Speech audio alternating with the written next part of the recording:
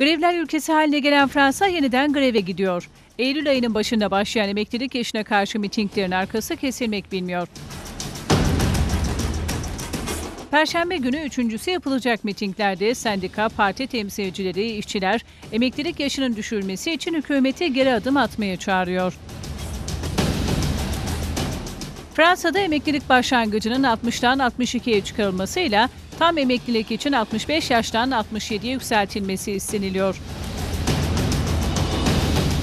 Perşembe günü yapılacak mitinglerde kamu hizmetine çalışan ulaşım araçları, tren, otobüs, taksilerinde bazı bölgelerde greve katılmasıyla trafiğin aksaması bekleniyor. Fransa şimdiden kaosa hazırlanıyor.